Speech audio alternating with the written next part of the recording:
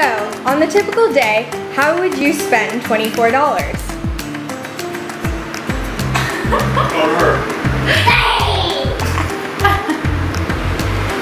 So next week, June 19th, would you be willing to donate those $24 to Mary's Center? I'll see if I can get dollars for my mom and dad. What does dad say? Sure.